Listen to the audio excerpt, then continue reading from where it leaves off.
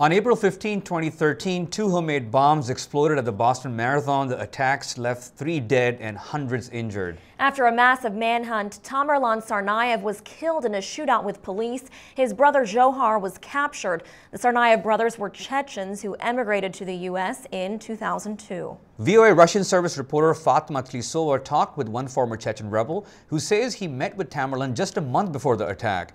In May 2013, she shared with us her insights into the Tsarnaevs. Let's take another look. Looking at Tamerlan Tsarnaev, who is seen by authorities to have been the mastermind behind these Boston Marathon bombings, does it look to you like someone who was self-radicalized or who was influenced by other possibly rebel elements? I've studied the, uh, the history of his family and I've spoken to almost all the people who knew him in, in Boston, all the Chechens, and the impression I've got on him was that probably Ruslan Tsarni, his uncle, gave the most uh, accurate description. The only, I say, what I think what's behind it, being losers, not being able to settle themselves, and thereby just hating everyone who did. Tamerlan Tsarnaev uh, was a loser in, in my opinion, after all these uh, interviews. His um, American dream was to, uh, to become a member of the Olympic team uh, for arts? boxing. Tamerlan Tsarnaev. He had a criminal record and that's why he was expelled from the team. And he lost his privilege to become an American citizen.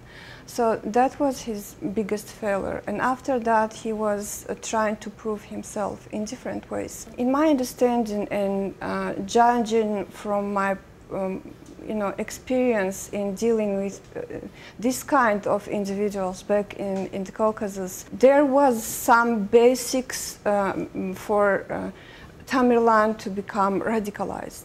But uh, um, to take this kind of step, he needed to be influenced by somebody. We don't know who, who that person or those persons were. If there is indeed a link between the two bombers and militant groups based in the North Caucasus, this would indeed be the first time that we've seen uh, jihadist groups based in, in that region exporting uh, acts of terrorism to the American soil. Uh, that said, at present, there seems to be few indications that these two do indeed have links to an established uh, jihadist organization. And what about uh, the cultural influence? You've talked about this existence of an alpha male ideal within uh, the Chechen community inside the Caucasus region. Can you, can you talk about that?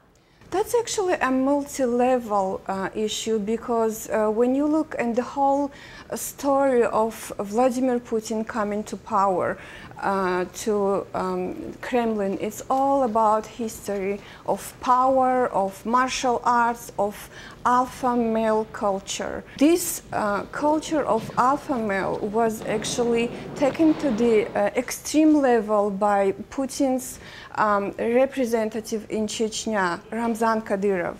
And Ramzan Kadyrov's lifestyle is mostly about power, about martial arts, about proving himself as the most powerful uh, person in Chechnya and maybe elsewhere in the Caucasus. And uh, if we look back to the time of insurgency, we see some uh, romantic ideas of independence and uh, freedom of Chechnya. Now we see Chechnya more Islamic and more radicalized than ever before.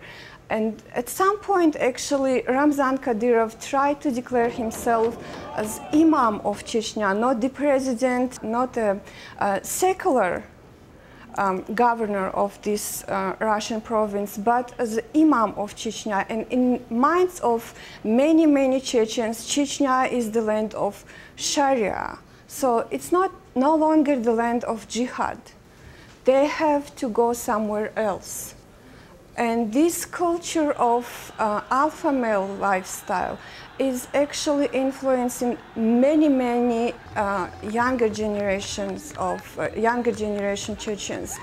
Including those living in the United States or, or in Europe, because you know they travel frequently back and forth to Chechnya and to the countries of their asylum, and they pick up all this style. They look up at this style and they wanted to be like them. They they want to mirror this style uh, you know, in their own understanding. And you did see that with Tamerlan. Yes, absolutely. He was trying to live a life of a man of success.